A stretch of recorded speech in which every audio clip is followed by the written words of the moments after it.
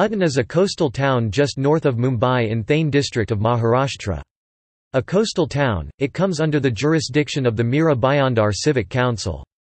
Part jurisdiction is also handed over to the Mumbai Metropolitan Region Development Authority MMRDA. However the locals have been opposing it, since the tourism plan proposed by the MMRDA will hamper the peace and tranquility of the locals. The area is famed for its beach, and fresh fish stock, visited by city-goers over the weekend. It is also famous for its lighthouse.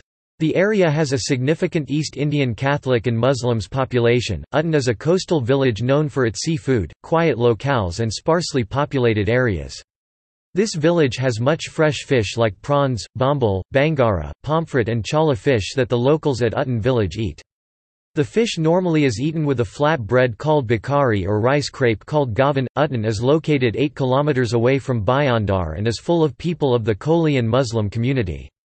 Some of the recreational places closest to Uttan are Our Lady of Velankanni Shrine Essel World Water Kingdom Gorai Beach Keshav Shrishti Pagoda Temple Hazrat Sayed Bail Shah Pir Dargah External links